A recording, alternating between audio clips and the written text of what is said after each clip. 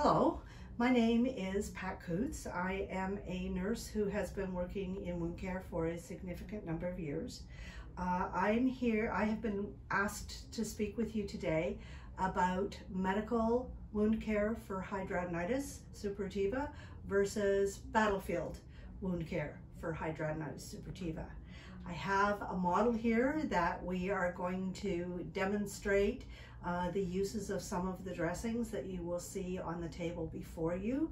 Uh, I will put my mask on when um, she comes in and we will talk about the different categories of dressings and give you a ballpark figure of what these cost just so you're aware that you can purchase them um, dressings are not covered by third-party pay at this point in time. I don't know whether they ever will be, um, but we can hope that one day they will.